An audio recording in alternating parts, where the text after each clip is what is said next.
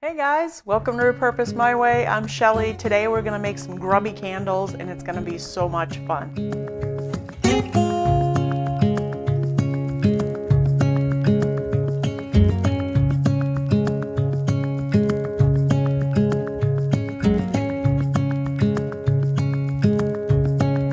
All right, so welcome and here we go. So I'm just going to tell you the ingredients that you're going to need and the thing, the supplies that you're going to need as well to make these grubby candles. Now, if you don't have these wooden stars like I have, I got these at Michael's, find something that you want to grubby up and use it. It works on most things. I think I've even used it on glass and this works. Uh, because you're using Mod Podge, Mod Podge works on just about everything. So um, and if you don't have Mod Podge, school glue with a little bit of water just to loosen it up a little bit because it is a little bit thicker than Mod Podge is, but not a lot. Just some school glue and just a little bit of water and you'll have yourself something that you can use as well. So today we're gonna grubby up these stars got a couple here. I've already started to do a few because I'm experimenting today. I want to try some different colors as well. Typically when you use the grubby mixture that I use, uh, a lot of the spices that you use are dark colored. Uh, actually, all of the spices that I use are dark colored. The only thing that isn't is Mod Podge, which dries clear. So I added a little bit of paint to it and I'm gonna show you how it came out. And I really love it. I think it would be great for winter decor or even uh, Christmas decor. And I think it's gonna be something that we can experiment with later on and make like candy cane candles and things like that. I think it's gonna be a lot of fun. So the other thing that you're gonna need, let's see, so just something to grubby up. I have some candles from Dollar Tree. These are a dollar. You can get the whole pack of the tea lights and do those as well, even though they're plastic, it works. Grab yourself a pan with a little bit of a lip on it. This one I've already started using, obviously. Um, and grab something like that, or you could use a bowl or a baking pan, or even just aluminum foil. Just something so when you're putting your grubby mixture on top of whatever you're grubbying up, it doesn't all go all over the place and you'll be able to dump it back in your bag so you don't lose a bunch of it. So you have your stuff you're gonna grubby, you have your pan, grab some Mod Podge. Uh, doesn't have to be this big, I just use a lot of it, so I grabbed a big container of it. Um, that, or like I said, school glue with uh, just a little bit of water, mix it up together just to loosen it up a little bit. You don't want it real watery so that it drips, but you do want it so it's easily spreadable um, and not super thick. The other thing you're going to need is some spices. Now I have some ground cloves here. I'm not going to use this whole thing. I typically get my spices at Dollar Tree or somewhere very inexpensive. We also have a uh, Ocean State job lot or something like that um, that you can get them very inexpensively as well. I wasn't near there, um, but the Dollar Tree didn't have the cloves, so I'm just taking it out of my pantry. This is from Walmart. It's organic, so I'm not going to use a lot, a lot of it, but I love the smell of cloves in my in my mixture. I have some whole cloves in this little jar. That's all I had left, so I put it in this little ball jar. I'm going to put those in there just for some added texture. Uh, Dollar Tree pumpkin pie spice. Now, any of these you can omit if you don't like the smell of them, the color, whatever. I'm just trying to get some variation and some different smells in there. So this is pumpkin pie spice from Dollar Tree. And then I've got ground cinnamon from Dollar Tree. And I also have some ground coffee. Now you also can use, um, this is just plain regular instant coffee, but you also can use vanilla flavored coffee or your hazelnut coffee. It just know that it's going to make your candle, give your candles that smell. Um, and whatever's strongest is going to come out. So that whole mixture is just going to have a just a grubby, um, spicy mix um, that I think smells great. So we're going to start mixing uh, and I'm going to grab, I just grabbed a clear bowl so you guys could see, and I grabbed a clear um, uh, gallon size Ziploc bag and put it inside there just to give it some, so that it will stand up so that I can show you guys what I'm doing here. It doesn't smell too bad. I've also used vanilla or hazelnut bean, whole beans.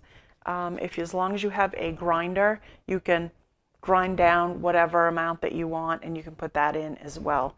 I've been having trouble finding whole beans lately, so I, because I kind of wanted to do the vanilla, but I couldn't find any and Dollar Tree had this whole jar for a dollar, so we're going to go with it.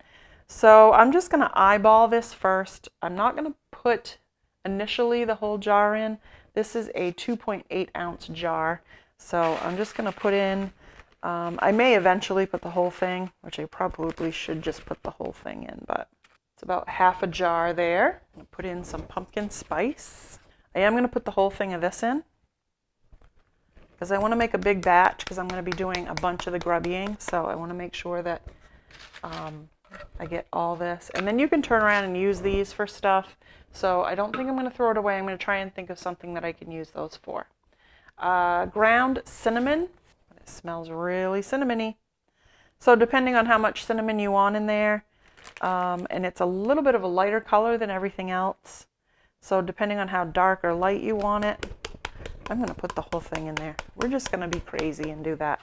All right, so we're going to put some cloves which is super strong, but I love the smell of it. So that's probably, I'd say I put about a tablespoon in there. And that's all I'm going to do for that one. Oops. Because I did save, and it's very fragrant. It's a lot stronger than everything else. I did save some cloves from my last one that I didn't use, and I'm going to put all those, I guess, in there just to give it some texture. All right, so everything is in the bag. This is what it looks like. and I'm just going to move it back and forth. I have all this coffee left and I probably won't use it for anything else. I'm going to pour the rest of it in here. Boy, that smells so good. So I got about that much in there. Let's see.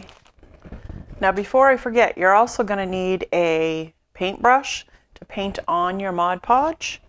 And also, if you're going to use these candles like this, the taper candles, you're going to want something to put them, set them in as they dry once you get them done. So uh, I have this little star stand for mine, and then I also have, I just had this kicking around. And then you also need uh, something like wax paper or newspaper to set your um, products down to dry once you've got them all covered with your Mod Podge spices and then Mod Podge again so that they'll have a place to dry. Okay, so I have this little styrofoam uh, plate that I have left over from Christmas. Uh, I took a little bit of Mod Podge and put it in here. Now the reason why I don't take my Mod Podge out of my container uh, directly is because as you're putting on your second coat after you've put your spice on there, it sticks to your paintbrush.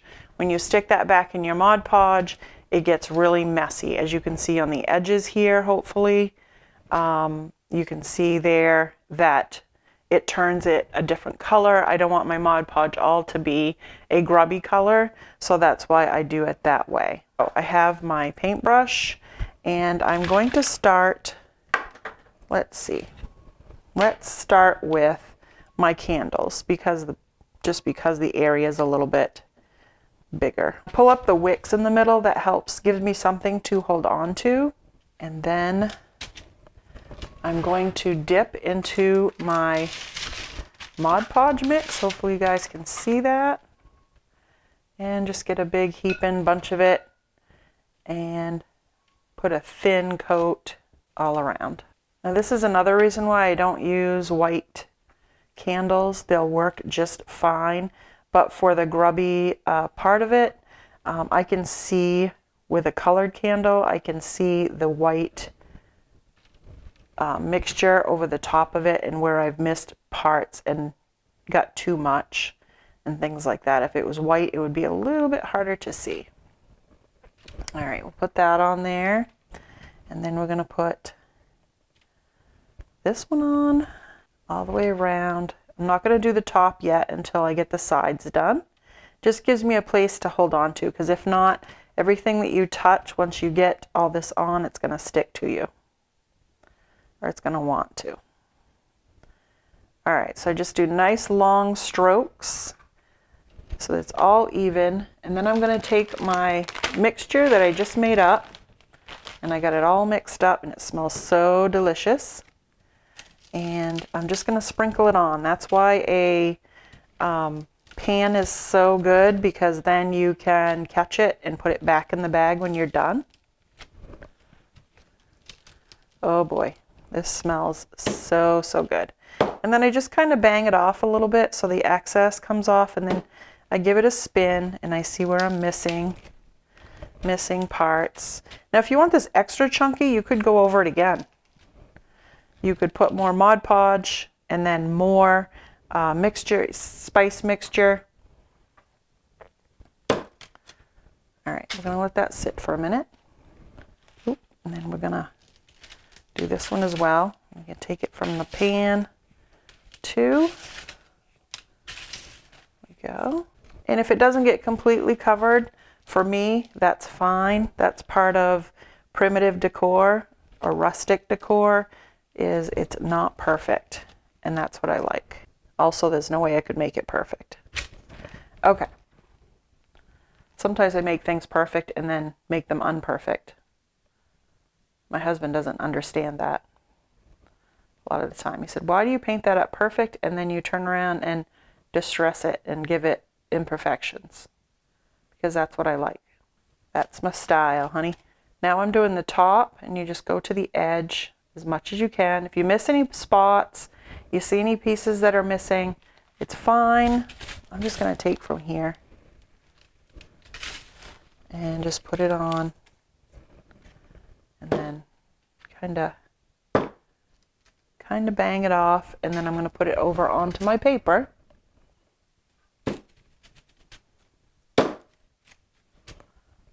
there's a little bit there that I didn't get. And that could be because I don't have glue on it or Mod Podge.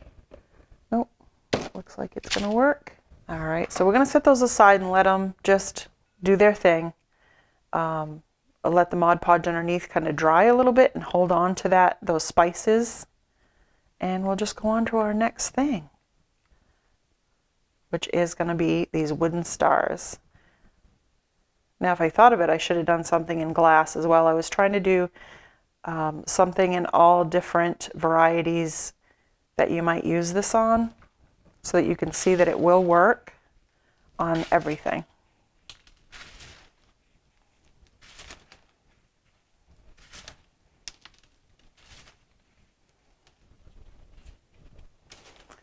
There we go.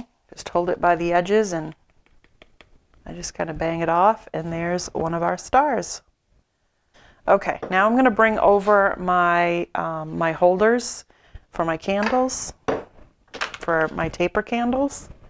And we're going to start with this one. Now this one has, I don't know if you can see it, but this one has like fake drips going down, like that's an actual candle with the drips. So I try to make sure, and I loosen this up to hang on to. I try to make sure I get in um, all those grooves as much as I can. Because when you're painting one way you might miss down in the in the hole there. You kind of want to get that.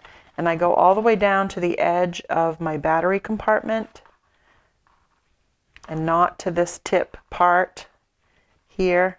I kind of unscrew it a little bit so that it doesn't um, glue up on me it gives me more to hang on to.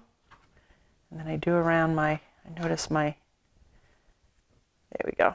My bulb was a little loose. All right. So try to do in the grooves everywhere all the way to the top. Now you don't have to do the top if you don't want to, if you like to see the flame a little brighter. You could just do the body of the candle. I'm trying to, I try to get all the puddles out too. I don't want puddles in there. All right, let's see. Kind of tip it a little bit and let it run down. Oh yeah, some good coverage. And then I tip it this way and get down in the groove around the bulb part. It's pretty forgiving stuff really. If you make a mistake and you accidentally touch it and it comes off, you can always Mod Podge that spot and then just put some more on there. It's really, it looks like it wouldn't be forgiving, but it is. And again, I didn't do the very bottom because we're going to do that after when I can hang on to this part. So this is like a two-step thing. Or you could take the bottom off completely and do that separate. It's just hard to hang on to when you're trying not to touch the parts. So I feel like as long as you're not in a super, super big hurry, you can just leave it like this and come back and do this. Or like I said, you don't have to do this part. Okay, so here's my two um, Dollar Tree candles. And I'm going to start sealing them with the regular clear, just regular Mod Podge. It's going to dry clear. And sometimes it resists. So you, I just kind of pat it on there and make it kind of puddle. And then for some reason that works. And then you're able to get it on there. But you definitely use more Mod Podge in this step than you do in the first step.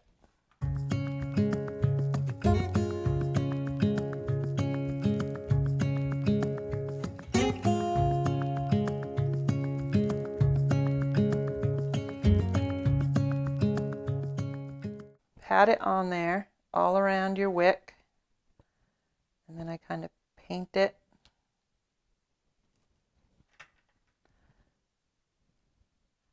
just kind of tamp it on there around the edges. You sometimes need to do this and then this. There we go. That one is done except for the drying. Dry time.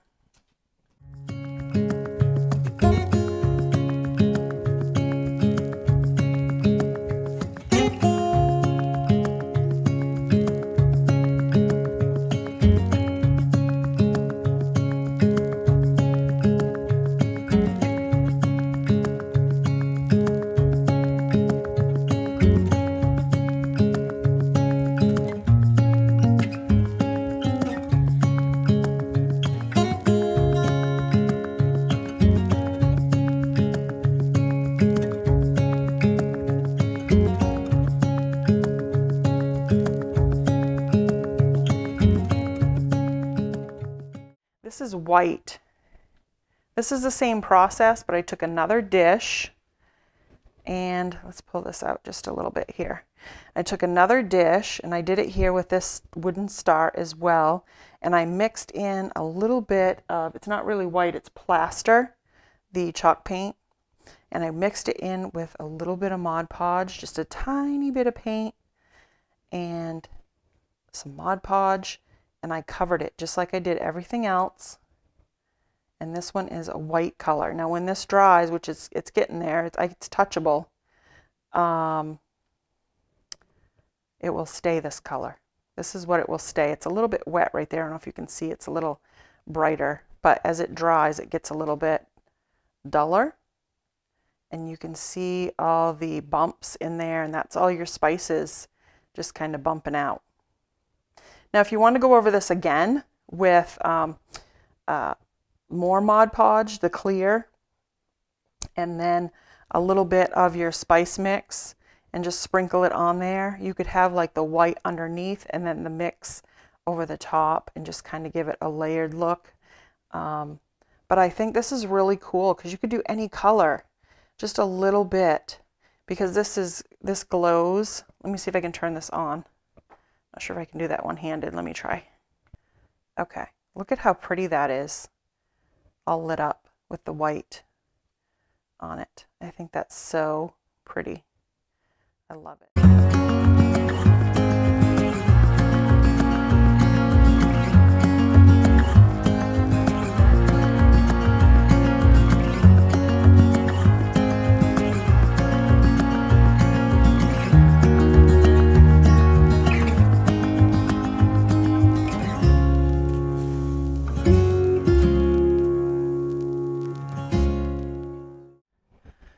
Okay guys, best to let these dry 24 hours um, and till they're not tacky anymore and you can touch them and the stuff won't stick to your fingers and come off.